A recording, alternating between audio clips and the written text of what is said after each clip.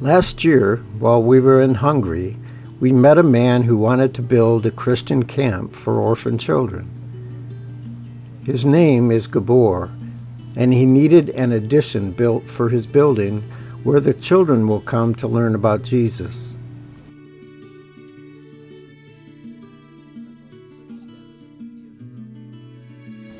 This is his building where the addition will be built, and the fields where the children will play sports.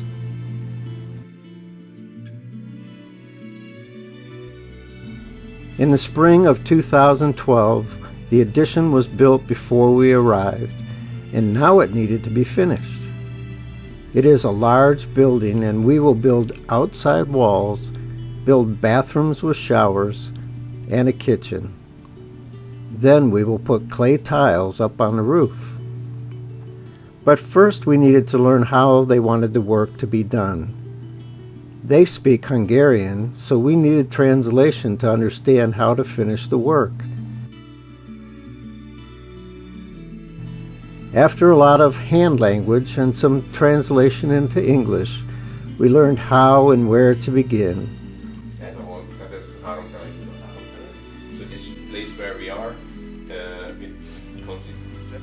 The materials are ready to be put in place, and slowly but surely we began to do the work. Between Gabor on the left, Emi in the middle, and Roland on the right, and a few conferences, each of our project teams received instructions for their part of the building project. It was a little confusing at first, but pretty soon the building began to take shape.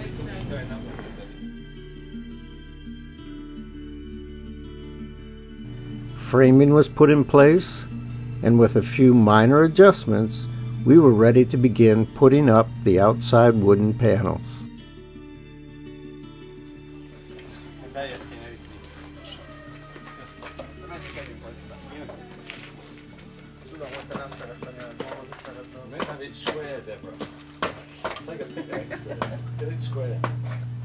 But first it was time for lunch. While we were in Hungary, all our meals were prepared by Chef Zoli and his wife Etina. All the food was so wonderful. Our first lunch was traditional Hungarian goulash, and it was so good. It gave us strength to keep on working. More walls will go up, and the outside walls begin.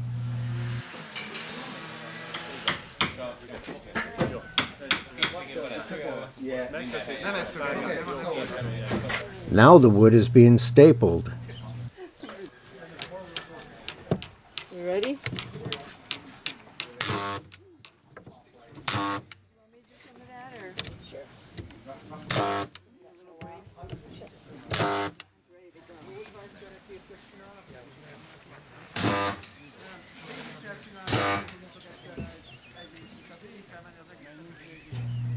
Then later in the afternoon, one team moved up onto the roof with our CMI leader, Harry from the United Kingdom. Working on the roof wasn't very easy because they had to stand on narrow strips of wood to do the nailing. It was very hard work, but it had to get done, and we made great progress on our first day.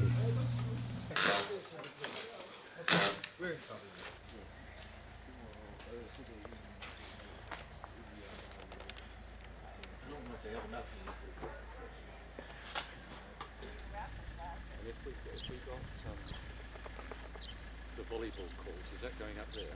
Yeah. If you give us the measurements.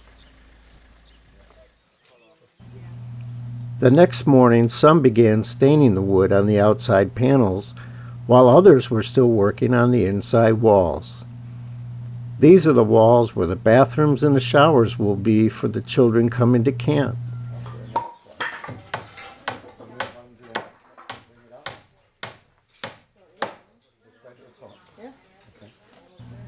Meanwhile, up on the roof, the team worked to nail down more strips of wood. These strips of wood will help hold the clay tiles in place. Again, the work was very hard, and by the end of the second day, we were all very tired. But it was time for the clay tiles to arrive, and we would need to unload the tiles from the truck and the trailer.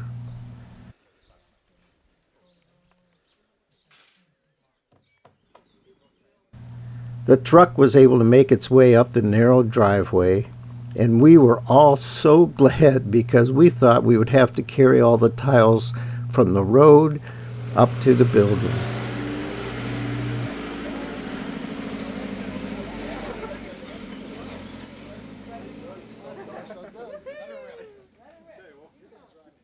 We formed a line and we passed the tiles to each other until all 1,500 tiles were unloaded, and then tomorrow another 1,500 tiles will arrive.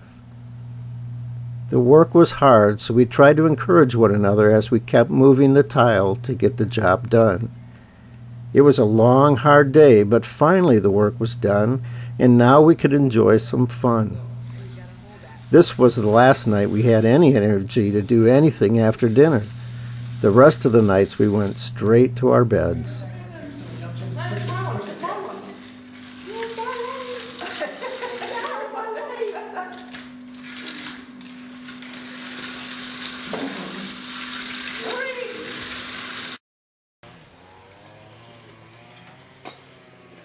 Our third morning began with a very blustery, blowing wind, and it was colder again. But we kept working to finish getting the roof ready for the tile and to build a porch. You can see how windy it is by watching the trees in the background and the plastic flapping around. It wasn't easy for the work to get done, but it still needed to be accomplished.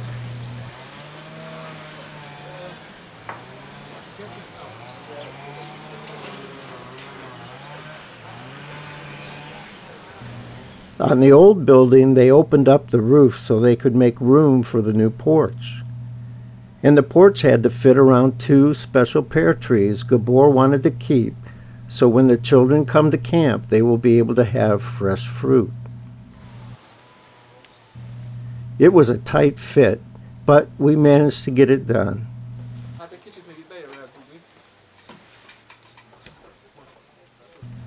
Little by little, everything was getting done.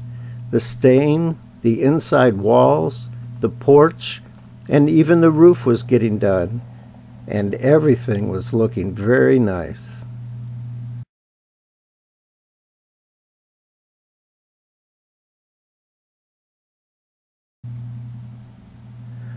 On day four, more stain was put in place on the new timbers that were erected the day before and then clay tiles were being placed on the roof. Each of the rows are put together at an angle so that all the tiles will overlap and the rain will run off when it rains. And everybody helped putting up the tiles.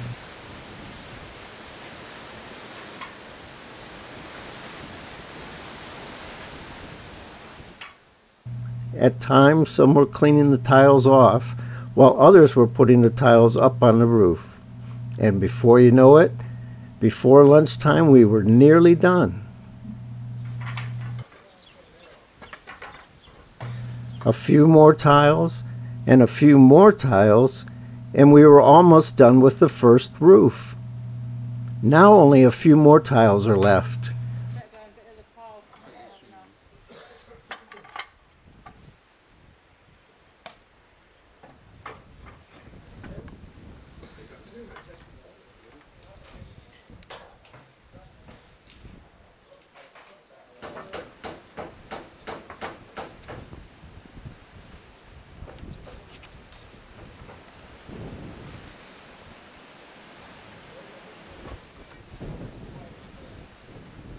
One, two, three. The last tile for side one. Yay, good job. By the end of the fourth day, we had a roof and a half already done.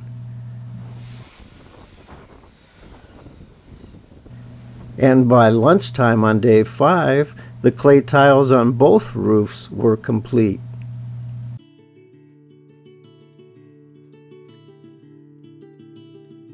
And more sheetrock was going up on the ceilings where the rooms were being built inside.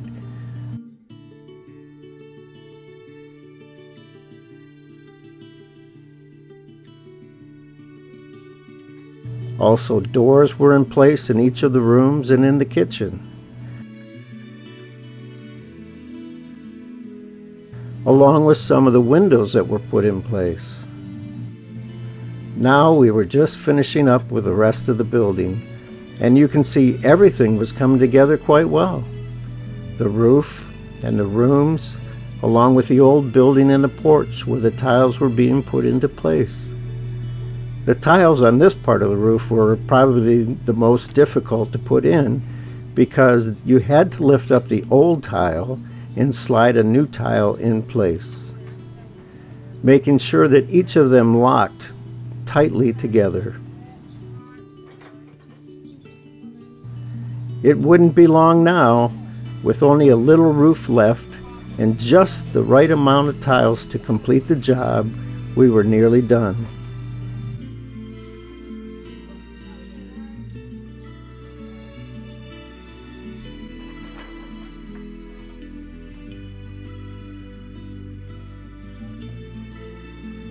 Before you know it, we were done with the final tile. At this point, we had laid nearly 3,700 tiles on the roof. We're done.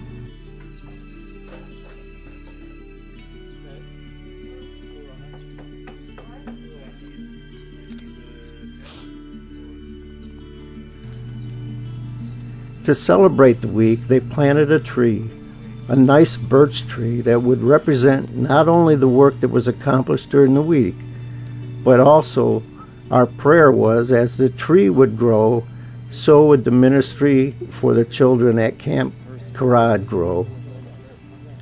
And so we gave all the thanks and all the praise to the Lord.